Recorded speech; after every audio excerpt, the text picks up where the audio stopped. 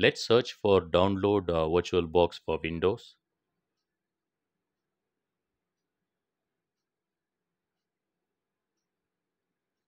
Now we will click on the first link, Downloads Oracle VM VirtualBox.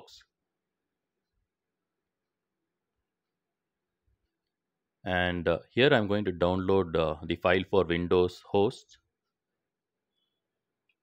because my host operating system is Windows 10.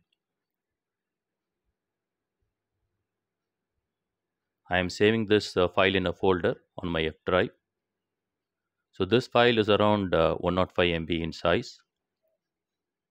So click on save.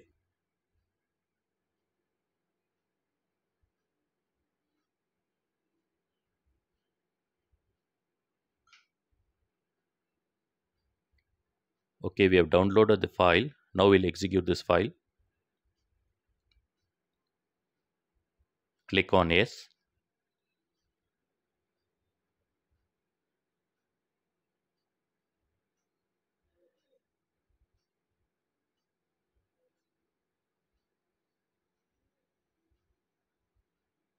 Click on next.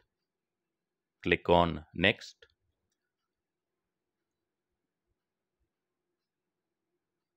click on yes.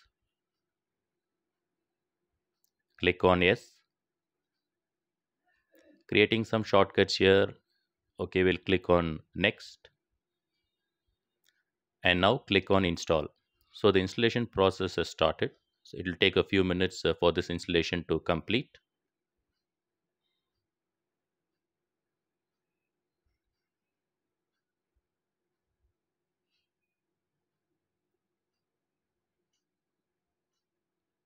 click on finish.